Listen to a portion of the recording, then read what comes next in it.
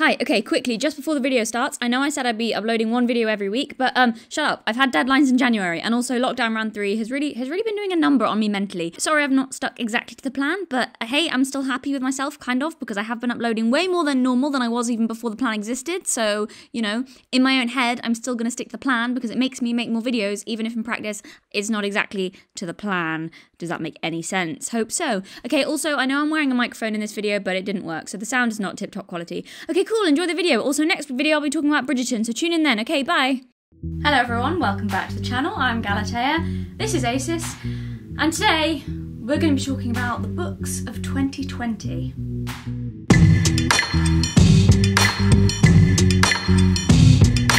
Acis is going to go here so he can watch and judge you all.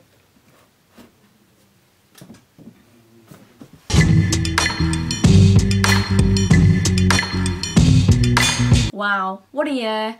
What a what what a what a what a wonderful year 2020 has been and now we're gonna look back at all the all the things that I read this year.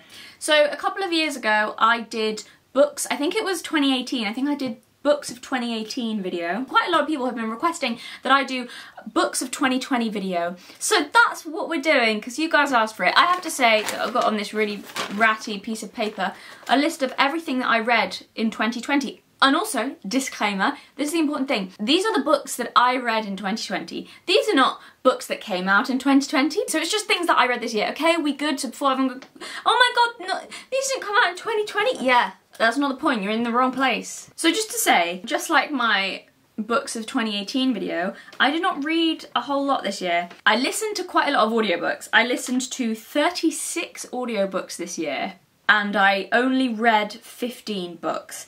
I say that, if we want to be generous, we can say that I physically read 18, maths, so good at it, 18 books because I've, that was some of them are really big that I'm part, almost all the way through and that I was reading throughout the year, so like, I guess it's kind of more physical reading than 15. I find it quite difficult to read this year, as in last year, as in 2020. I'm planning to read more for 2021. I'm, I'm going to be really good and read more. It's been, 2020 has been a difficult year to keep focused on kind of anything really. I feel like I should have done a lot more reading because, you know, there was nothing else to do, but I didn't. As with the 2018, this is going to be um, sort of like an awards ceremony, but not really. I think it's more interesting if I do what I did last time, and if I just be like, it's it's books being assigned to random categories.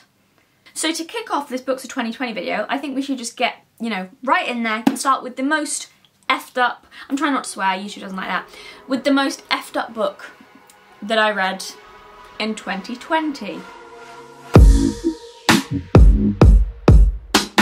Prince of Thorns by Mark Lawrence. Within the first six pages, our protagonist um, has gang assaulted. I can't say the R word because YouTube doesn't like that word, but you know, it rhymes with grape. Um, he's gang assaulted two women and then killed them and burnt and massacred their whole village to the ground. Um, and he's 13 years old. So here's the thing, um, it's kind of hard to come back from that. Obviously he's meant to be kind of messed up and that's not necessarily a problem. The, the problem is I find it's, okay, the fact that this character is the protagonist and it's from his point of view, I find it really hard to root for him obviously the protagonist. As I was reading this book, I kept finding myself like thinking about how much more invested I would be in the story if he was the kind of protagonist I could root for. I kept thinking, it's it's like good, it's not bad, like I was enjoying it and the story is interesting um, and the world is interesting and I understand that he's meant to be kind of messed up and I kept thinking, and this is like a totally personal preference, I just kept thinking, if this kid, because he's a kid, had enough redeeming qualities that I cared about what happened to him, I wouldn't be so much more invested in the story. He was very smart and charismatic, I have to say, the character in in this book. But he would still it was still not really enough to make me care about what happens to him. And you need I think you need a bit of empathy for a character.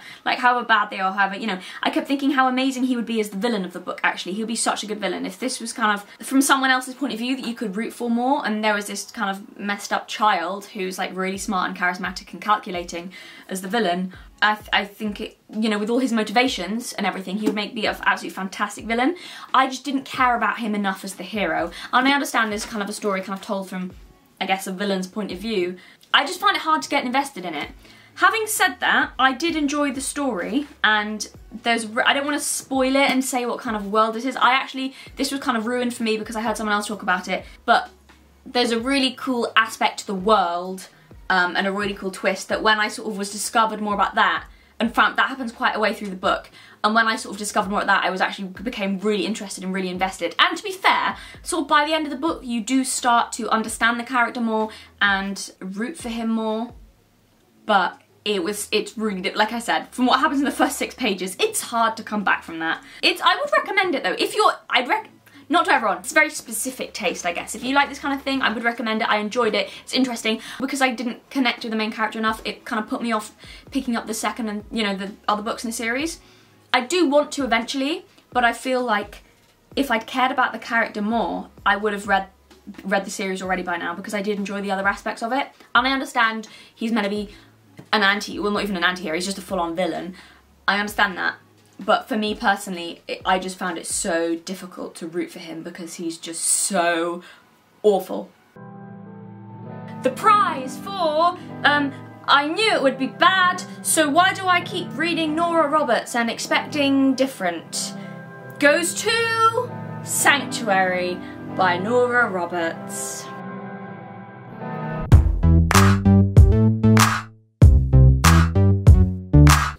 It with me because I listened to it on audiobook. I listened to it on, like, like an app thing where pay a tiny amount a month and then there's loads of free books on there that you can just read. So if I'd had to like specifically pay for this book, I wouldn't have read it because I've never really been impressed with a Nora Roberts book. I always do this. I'll be like, I've read a few Nora Roberts and then I'll like read the synopsis of her of one of her books and it will sound really interesting. I'll be like, oh, because it's free and I can just listen to it as I'm doing other stuff, I'll just listen to it. And I always expect for some reason that it's gonna be better than than all the other books that I've listened to by her and it's always disappointing. It's always like, wow, Here's the thing, her books, I just find them, you know, there's always a romance and there's quite often like a mystery or like a murder or like something going on. And I find the characters really bland. The romance is always really boring and bland and it's not like, and there's no chemistry between anyone, I think, and I'm just kind of bored reading it and the mystery is also just kind of boring. I need to just stop listening to them, even though they're free, because I'm always like getting kind of annoyed because I'm like, oh, it's snowing. Sorry, it's just started snowing outside. That's so exciting. I wish it snowed at Christmas. Oh well. Happy January! I remember now what it was about Sanctuary that I didn't like. No, this really wound me up. What really annoyed me was there were, th I think there were three. It felt really gratuitous. There were three RAPE scenes but it wasn't and I don't have a problem with scenes like that if they're kind of necessary if they're important to the plot but it wasn't it was just you could it could that those things could have happened without us having it felt really gratuitous. There were three of those i think there were three. There were at least definitely two or there was like maybe flashbacks to a third one. It was like really in detail which i really don't i mean i don't think many people like reading stuff like that. In really explicit detail that it's uncomfortable it's not nice but i can understand if it's necessary to the story you know sometimes it should make you feel uncomfortable and whatever. But it, it didn't feel like it you could have it was so unnecessary because that's it. The characters it was from like their point of view as these women were experiencing this, but then the, these these women like died straight after. So I would understand if if the female character who this happened to then went on to live and you got from her point of view, there would be a purpose to having the scene in detail and to being in her head when it happened because obviously then it's her character. That you know what I mean? There's then a purpose to experiencing that event with her. But because of these women that it happened to, like that happened to them and then they were murdered immediately afterwards, it kind of felt a little bit unnecessary. It's like, why do we have to experience what they're experiencing in such detail in a really icky, gratuitous way when they are then just like gone from the story, so there's no purpose to it because why do we need to, you know, it could have just been said that that happened to them or you know in another or not in detail. It felt gratuitous and i really didn't like it. I kind of felt like i needed a shower. So the prize for stealthily tragic as in it's actually a really sad story but you don't actually notice it because the tone of the book isn't as tragic as actually what happens is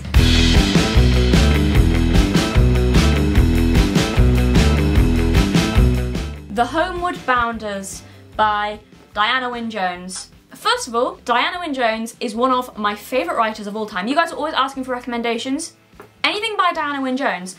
However, this was this was interesting, it was good, but I would say it's one of her least good books. It still wasn't bad because it's Diana Wynne Jones and she's amazing, but it was by no means, not by a long way, my favourite of her books. I'd recommend if you want good Diana Wynne Jones books, Dogsbody, Fire and Hemlock, Howl's Moving Castle, Charmed Life, start with those. It was it was enjoyable. I enjoyed it, and I can't really say much without spoilers. And it's like it's like a children's adventure story, but there's like aspects to it that are like kind of really really sad. If you like Diana Wynne Jones, I'd recommend reading it because you probably would enjoy this anyway, even though it's not one of her best books. It's still enjoyable, I thought, and a really interesting idea. That's what I that's what I love about Diana Wynne Jones. Her children's stories just have the most batty, wonderful, random ideas, and I think she's one of the this is kind of irrelevant because this is off topic for books I read this year, but just in terms of authors I like, Diana Wynne Jones I think is one of the most original authors that I've ever read. Um, definitely in children's literature. She doesn't copy anyone, she doesn't, it's just like, how does she think of this? This is just so random, but amazing. Anyway, I will stop ranting about her, but I think she's just wonderful. The next award is, I don't really know how to feel about it. Is it good? Is it bad? I don't know.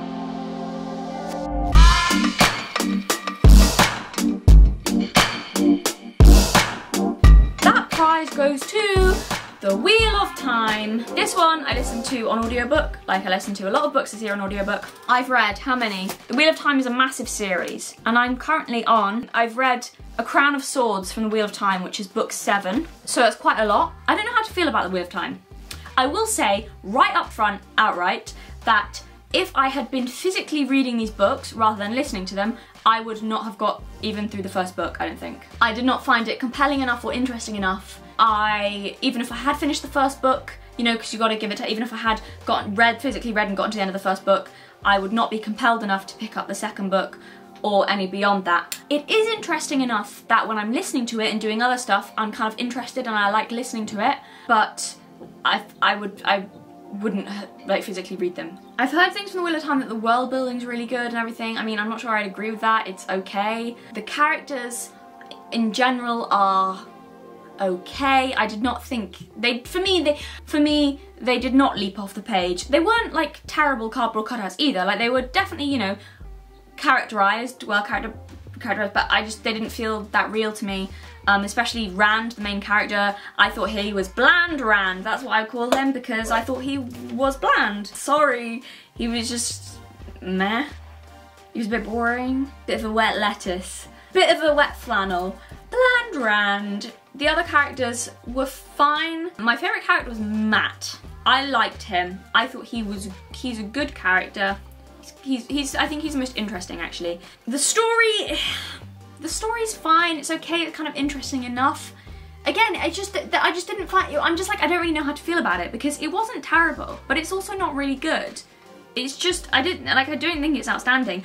But having said that, I can see why some people perhaps do because it's clearly you know a complex world. There's a lot of work gone into it, a lot of effort into it. It's a massive you know series. Certain elements that you know there's there's clearly a lot of thought and energy and heart gone into it. I think.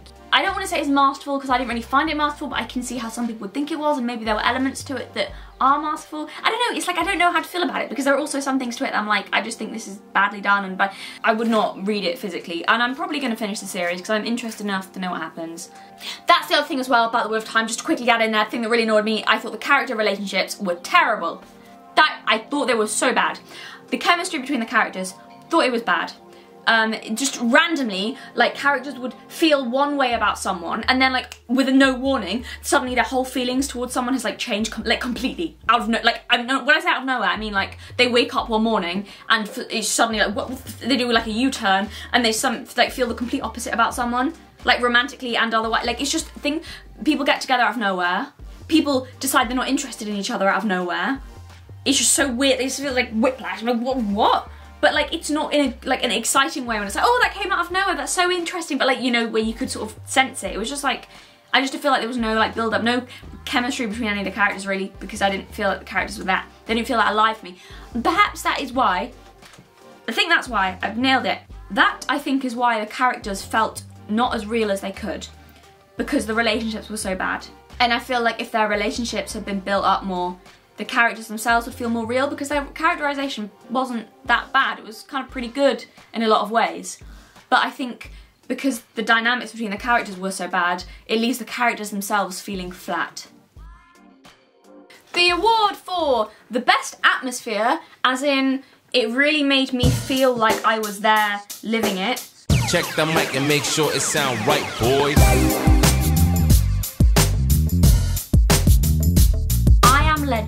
I've never seen the movie, but I have heard that the movie is like nothing like the book. It's about, so he's the last man on earth. He's the only survivor of like a plague that's basically made everyone else on the planet bloodthirsty, basically vampires. And I really felt like I was there. It's from his, it's you know, you're in his head as you're reading this story. He's the last man, everyone else is a vampire, he's completely alone, no other living thing, in this house that he has to sort of board up every night to protect himself and he's just been living on his own for months. I felt like I was there. I really felt the isolation and the loneliness. I mean, I did read it in 2020 as well, so talk about isolation. Even without that, I've really felt the isolation and the loneliness and the complete psychological turmoil that this man was going through. And it was horrible. it was really depressing, so depressing to read, but it was good and it was gripping. I was very, the end I think let it down a bit, but for most of it I was really gripped. But I thought it was the best atmosphere of making me really feel like I was there. The loneliness was crushing. It was horrible. Probably shouldn't have read it this year. Didn't help anything, but you know, it's a good book. Okay, so now the prize for the coolest idea with the worst execution goes to, is this any surprise to anyone? Drum roll.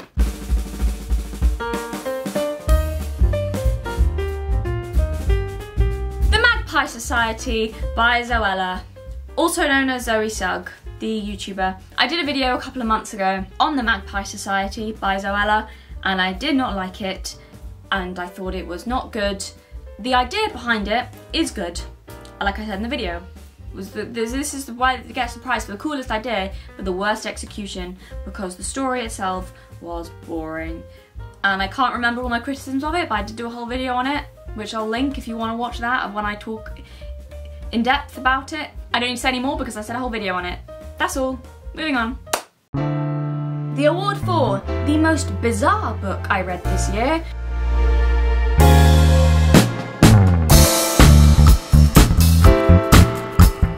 Lanny by Max Porter. It's really pretty cover, can you see it? It's like gold and shiny. This wasn't bad book, it was good, but I just don't know. I don't know how much I liked it. I kind of enjoyed it. But it's just kind of, it's very strange because it's a really strange, it's one of those books that's got a really like strange narrative structure. I, I really like the idea behind it as well. I did, did, enjoy, there were a lot of aspects of this book I really enjoyed. Um, there's like a thing in the woods, sleeping in the woods called Dead Papa Toothwort. It's kind of quite, po like almost like poetic and like with really weird prose, which if you like that kind of thing, definitely read it. Um, yeah, it, but it was just very strange.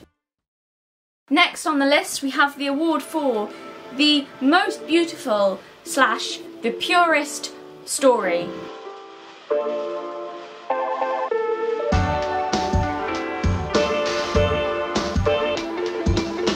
A Company of Swans by Eva Ibbotson or Ibbotson, I don't know, it's Ibbotson, it's Ibbotson. I don't know, but I always said when I since I was a kid I read it as Ever Botson, so I'm just kind of stuck on saying that now. So A Company of Swans, this is a reread, and I think it's maybe the third time I've read it because I love Eva Ibbotson. I love her books. I think she write like the way she writes, it's so poetic and so beautiful. Um, I did a whole video on her books called like the best romance writer. Um, I think her romances are really beautiful. They're not like angsty well, maybe a bit angsty, but not like in an angsty way. That made no sense, but if you read them, you kind of know what I mean. Like maybe they were a bit angsty, but not like in an angsty way. Again, makes no sense. read them and you'll see what I mean. I think this is one of my favourites of her books, um, A Company of Swans. It's set, I think it's like set in like 19, why do I think 1911? 1912! Oh my goodness, I'm so spot on.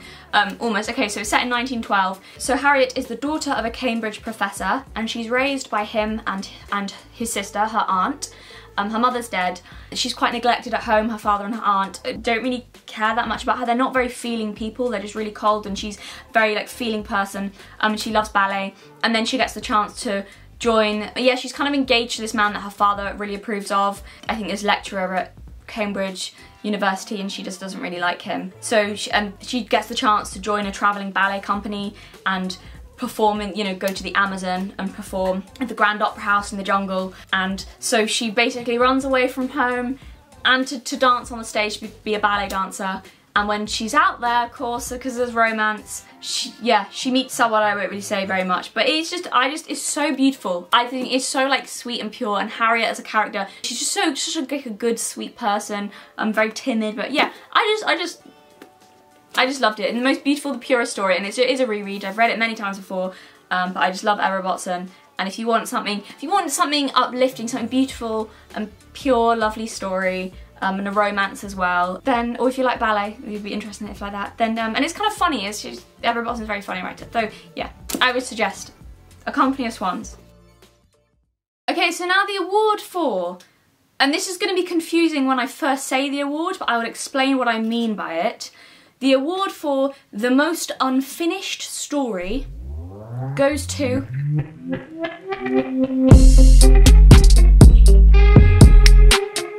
American Royals by... I didn't write down who it's by, doesn't really matter. Um, and this goes to both books in the series, I'm pretty sure it's a duology. It goes to American Royals and Majesty, both both for those books in the series get the prize for the most unfinished story. Now, what do I mean by that? This award is most unfinished because it is unfinished in two ways. Number one, it felt like a really early finish. I was really, when I finished the story and was like, this is only a duology, it feels like there should be another book because so many things were left hanging or like resolved really quickly, like but not resolved. There were there were so many things that were set up and there was no payoff.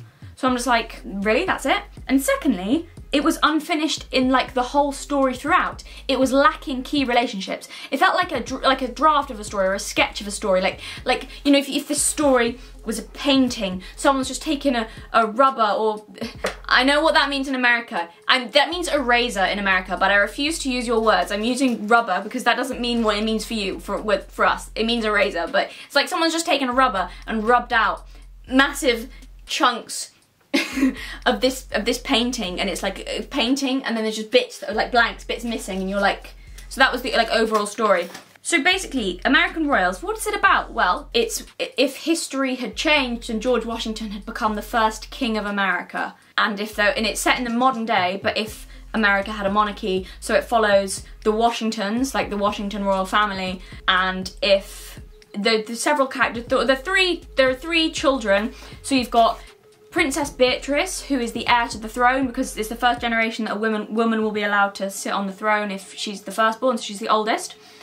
Follows Princess Beatrice, and then her younger siblings, who are twins, Samantha and Jefferson. And it follows them and sort of their friends and people around them, mainly their love lives. It's like one of those stories that kind of pretends to be another story and about politics, but really it's about romance, you know?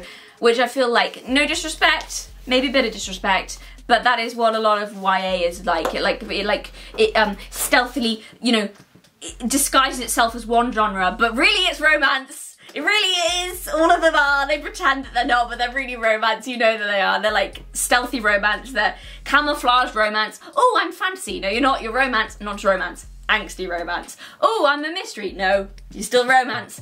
Oh, I'm political intrigue, alternative parallel history. No, still romance. sorry, sorry, that's my little right. It's not necessarily a bad thing. Sometimes it is. In this case, yeah. So, okay, so follows them. And one of the things that really annoyed me, one of the things that made this these this series feel unfinished. This annoyed me so much. It annoyed me all the way through the first book, and as I was I was again listening to an audiobook because I wouldn't I wouldn't have read these physically. This was like, I need something sort of entertaining and light-hearted to read. Oh, this is kind of intriguing. I will listen to this as I clean. It was that kind of vibe. Um, and it was interesting enough that I listened to the second book. I was disappointed though, the second book and how it ends, like I said, so badly. One thing that annoyed me so much, and I'm almost certain this is true because I was watching out for this, because I noticed it near the beginning of the first book I noticed it and then I was watching for it throughout the whole rest of the sec oh, the whole rest of the first book and the whole of the second book I was paying attention to this. Beatrice, the princess, the heir, and her younger brother, Jefferson, uh, the, again the prince, they did not have a single scene together in the whole duology. I'm not kidding you. And maybe people someone's go, oh no they did, there was this random scene here or there was this scene here. If they did, then it was like one scene that like easily overlooked and missed because I was watching out for this. I'm almost certain that the whole duology, they did not have what, they, they did not even like come into contact with each other. Like I kid you not. Maybe there was a scene where they were like in the room together at the same time, but they never interacted. They never interacted throughout this whole duology, and it, I was going crazy. I'm like, they are siblings. The whole story is about their family and their family dynamics. They they they they live to they live in whatever this world's version of the White House is together, and they do never interact. They don't even ever think about each other. Like, because it's from their you know from different characters' points of view. When it's from Beatrice's point of view, she never like maybe a passing thought about her brother, and same for him. It's like it's like they're in different stories, and they don't know each other exists, and all the other characters know both of them and know that they exist. And their sister Samantha like interacts with both of both of them, her brother and her sister. But Beatrice and Jefferson like it's like they're in they, they don't know each other exist. Like they're in parallel worlds. That other people cross between but they're just like living in separate universes. It's so weird. And it annoyed me so much. I became so frustrated because i'm like it felt so weird. It really took me out of the story. Like i was like this is so like what's the point? Why are they even in the same fact like it just was so annoying. And also, this other thing kind of annoyed me as well. And this is a kind of a spoiler. If you want to read this, maybe like skip until you know, this bit's over. So, you know, at the beginning of, obviously, the beginning of the duology, you have sort of, it's always, you know, beginning of the duology, everything's set up. And, you know, the people that it's implied that everyone's going to end up with, it's all seeded and set up, right? And this is what I mean when I say there was no payoff. No one ended up with, like romantically, no one romantically ended up with the person that it was set up that they were going to end up with. If that makes sense. Like, no one. It would have been okay, like, if that happened to, like, one person or a couple of people. But it, like, it happened to everyone. Literally, no one ended up with the person that it was set up from the beginning that they were going to be interested in or end up with. Which I found so weird. And normally I quite like it when someone you have they have a relationship and it's changed and they break up, whatever. But in this book, in this book, it just felt so weird. They just randomly got with someone else in a way that felt like the author had literally changed her mind after the first book. She was just like, oh no, I've changed my mind now. Um, I don't like how I set it up. I'm gonna, this is gonna happen now. I got bored of these. Like, it, it didn't feel like it was natural. It just felt like she was like, ah, no, I'm bored, I'm bored of who I decided, who I initially wanted them to end up with. Now I'm bored of that. Here's a new idea. And also, there was, and another kind of spoiler, there was no payoff with the villain's evil plot. So one of the villains, you know, villains always have an evil plot. plot. Like, no one even found out that this person had an evil plot. Nothing happened with it. It was like, so this villain kind of like got away with it, and that's not necessarily a bad thing that, you know, people sometimes get away with stuff, but they didn't get away with it in a way that was interesting. It was just like, like as if it was forgotten about, and as if this villain who had this whole evil plan just sort of like carried out the, you know, it was set up from the beginning. The whole way through you're reading the books, you're like, I can't wait. That's why it was annoying, because the whole way through you're reading the books and like, oh, I can't wait until everyone finds out what a little snake this girl is. She's awful, she's horrible, she's got all these plans in place. I cannot wait until like, until the guy she's tricking finds out about it, you know? So you're, that's what's promised to you at the beginning and you're waiting for the payoff and you're like, oh my god, I can't wait until everyone finds out. She's like screwed everyone over, she's ruined people's lives, she's broken people up. Oh my god, I cannot wait until everyone finds out and they never do and then it just ends. There was like no payoff for anything. But it happened with everything with romances with like relationships with plot lines. There was set up and there was no payoff. It just was like crumbled to dust. And that's why i'm really i'm gonna research this again because i heard that it was only duology. I'm pretty sure i read something where the author was like nah that's it. But if so why? Like that could have been like a good ending to a second book but everything's left like in disarray and you're like oh my god everyone's with different people and what's going on and then you bring it back round and tie it all in and pay everything off in the last book. But what the hell, dude?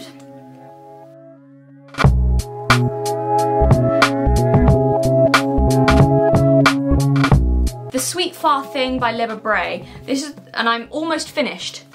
I'm literally, okay, so this series, it's the series of A, a Great and Terrible Beauty. There's it's a trilogy. Um, and this is the last book in the trilogy. I read the whole trilogy this year, bar this, bar the last like few chapters. I stopped reading this in like October.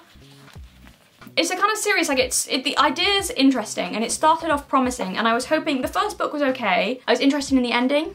I think, I think I was, and I was like, oh, I can't, I feel like this might be the kind of series that gets better with the other books. And it hasn't, it's gotten worse. And I, this is, okay, I think this says, for me anyway, how bad this was at keeping my attention. It's a trilogy. I'm that close to the end of it, to finding out what happens to all the characters. I only have this much left to read, and I just don't care. I just don't care. So I read a whole trilogy, and I'm that close to the end. And like, I was interested in what happened to the characters. I really wanted to know what happened, you know, in the first book and the second book. But this book, I was just, like, I'm just, it just managed to so spectacularly lose my interest that I'm like this far from the end and I just don't really care anymore what happens to anyone. And I don't know if I'll finish it. I feel like I should, just because, you know, the whole series overall, would I recommend it to someone? Unless you read, hear the idea of it and think, oh my god, that sounds amazing, I have to read it. Um, no, I wouldn't recommend it because it's just a bit boring, the whole series, I think. A bit dull. Sorry.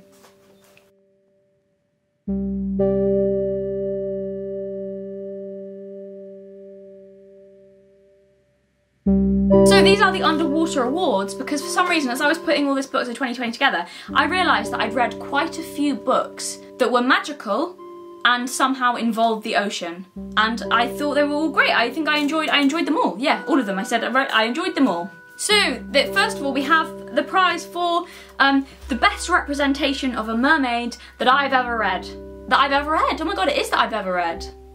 So we've got a runner-up. I don't know if this runner-up counts as, the winner counts as the best representation of a mermaid I've ever read. But this one counts, this, the runner-up is not, hmm, it's, I don't think it's even the second best representation. It's like, it's, okay, this, this one gets an award for a good representation of a mermaid. One of the best, there we go. One of the best representations of a mermaid I've ever read goes to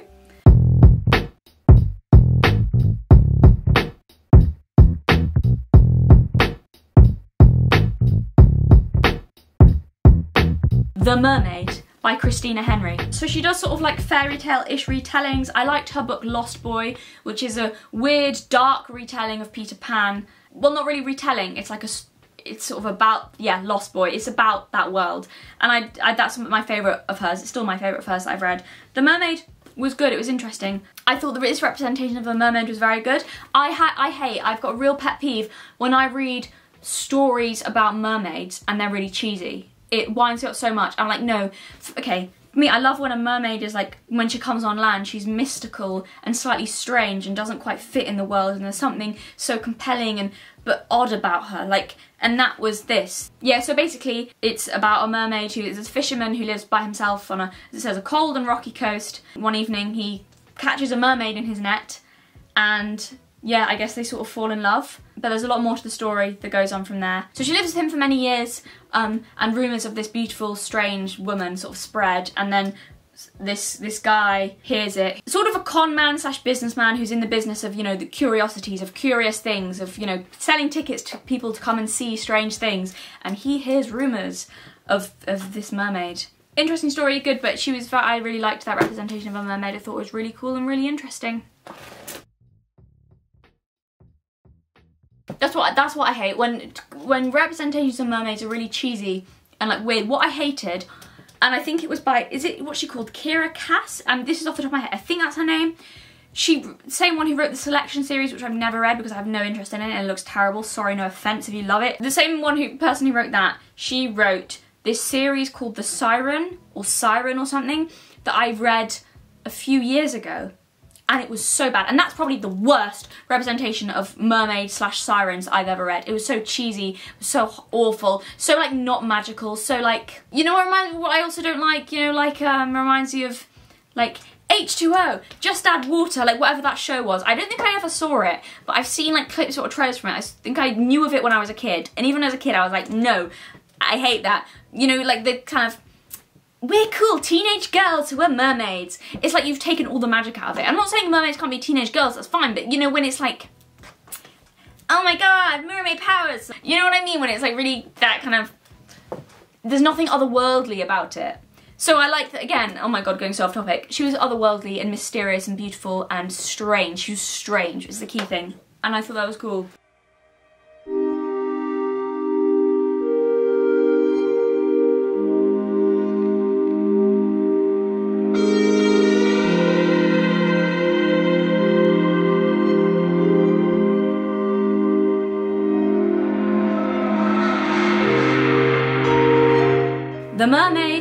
Hancock. The book itself, so it's sort of about, it's kind of weird, it's like set in 1785 um, and it follows a merchant whose ships come in and they've, his captain says he sold his ship for a mermaid. And it's sort of it's, it's, sort of historical involving all these people. And it's kind of I don't know how to feel about the story overall. It's kind of a weird story where I didn't really feel like I mean I guess that's kind of the point of the story but I didn't really feel like there was much of a plot. It's definitely not really plot driven, it's kind of a bit strange, but we're not talking about that. What we are talking about is that the representation of the mermaid, the best. So, and this is kind of mild spoilers, so if you really don't want to hear anything about the mermaid, maybe click away if you're planning to read this book. But otherwise I will say, so the descriptions, the mermaid in the book, it's just this tub of water. And at first it's just it's like like there's water, there's nothing there, and it's like this is the mermaid or whatever. But people kind of can't stay away from it, from this water, from from the mermaid and then people spending more and more time by the water by and feeling longing and sad and it's kind of messing with their heads and their emotions and they're so longing for it and wasting away by it. And the, it's got from the perspective of quote unquote the mermaid as well where it's like it's sort of like a really completely and that's what I say when I say I love mermaids are otherworldly creatures this is one of the most otherworldly it's just it's almost like a consciousness rather than anything else. The mermaid sort of thinking about the ocean and all. it's so beautiful the description the longing for that and it talks in we and that there's like a collective almost like a shoal of fish. Um it's kind of creepy but also really kind of beautiful. I don't know how to explain it you kind of have to read it probably but uh, I mean the story itself is, is it was okay I enjoyed it well enough. There were some random things in it that didn't really go anywhere but but yeah, anyway, that's what we're talking about. The prize for the best mermaid ever. I thought it was really beautiful description and it's so well summed up and encapsulated that otherworldliness that I love that I, you know, if, that's my, I think, if you're going to write about mermaids, I think, only my opinion, but I think they should be like that, so otherworldly, so like unknowable. Almost like the ocean themselves, they, they should be like as unknowable as the ocean, as strange and unpredictable and just like nothing you could ever understand, just like the ocean is. And that I feel like that's what this mermaid was and I thought was really beautiful. And there's so many beautiful. If you want to, if you if you love like reading, if you're not too bothered about plot and love reading about beautiful descriptions, beautiful places, like stuff, then then read this book because I think you probably like it.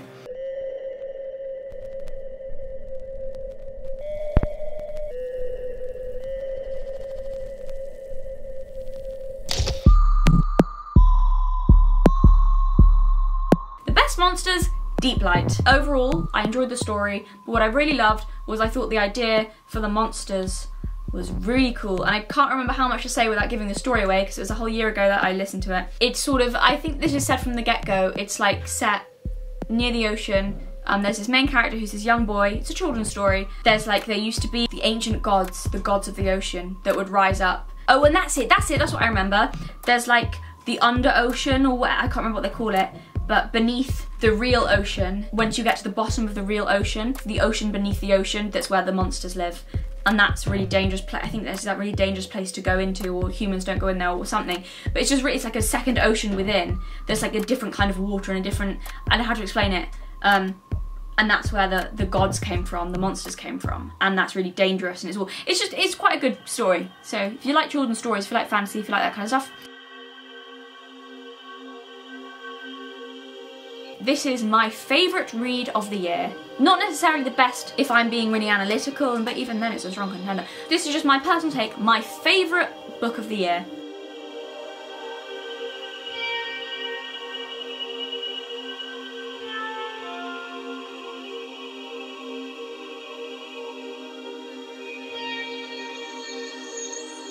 The Scorpio Races by Maggie Stiefvater.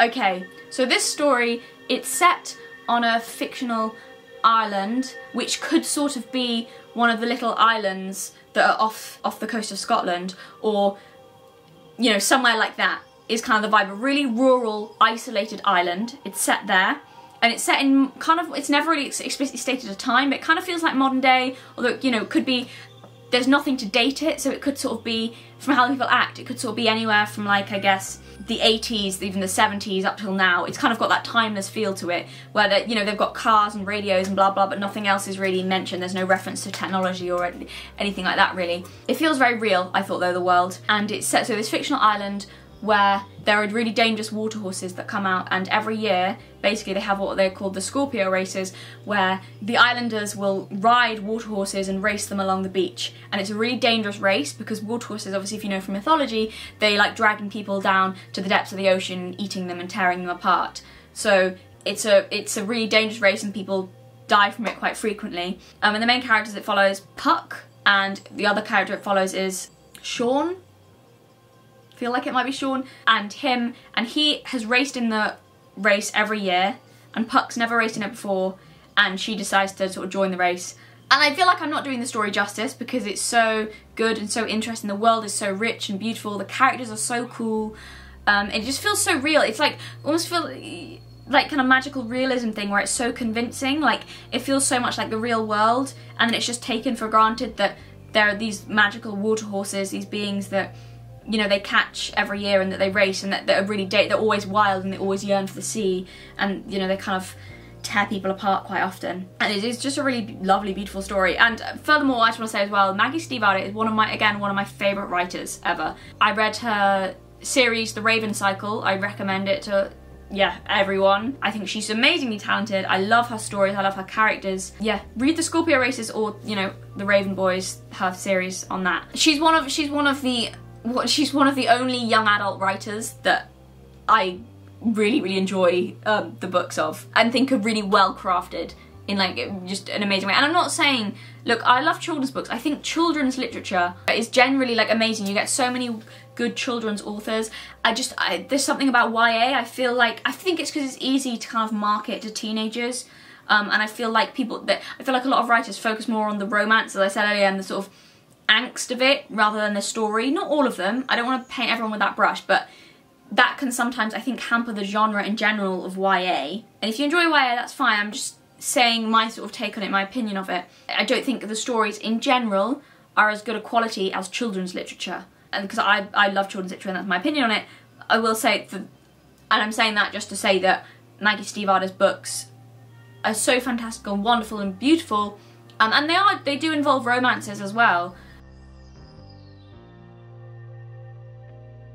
Um, but I think she's just, they're so well crafted in such a, and this is my opinion, so don't get mad at me. I'm not saying I'm not hating on you if you like YA. That's fine. But in my opinion, um, her books are rare in terms of they're well crafted in a way that I personally don't see in most young adult literature. And I've read quite a lot of young adult literature. If you disagree with me, that's fine. But me personally, a lot of YA stuff I don't think is that well crafted. Uh, but Maggie Stiefvater's definitely is. And I'm not saying she's the only good YA writer. There are, good young adult books out there.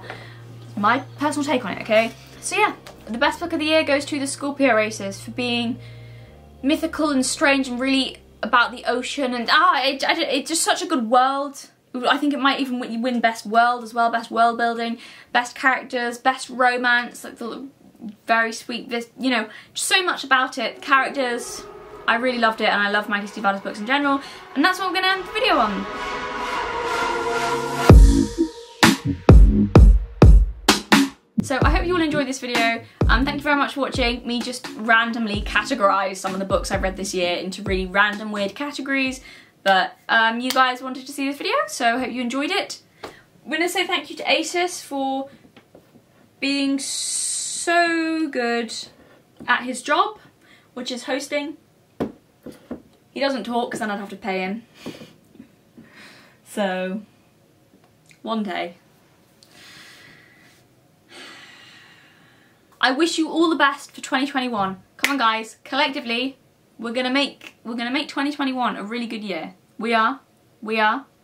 Don't be like that. Come on. Somehow, I have faith. I have faith. I'm I'm jinxing it, aren't I? No, touch wood. I'm touching wood, so it's okay. I have faith that 2021 is gonna be better than 2020 has been. Touch wood. Regardless, regardless of how this year turns out, I wish you all the best for 2021. Good wishes to you all. Happy New Year. Oh, follow me on Instagram if you want. I'm posting more often now. I post all my artwork and stuff if you want to follow me on that, which you can. You can also follow me on Twitter, though I'm I I don't go on Twitter, so you can, but it's pointless. But you can follow me on Instagram. More active on Instagram. So anyway, thank you everyone very much for watching. Happy New Year. Hope you enjoyed the video. If you have any recommendations of things you want me to do videos on, then you can recommend them down below. I might not listen to you. Is there anything else I need to say? I don't think so. Thank you very much for watching, and goodbye.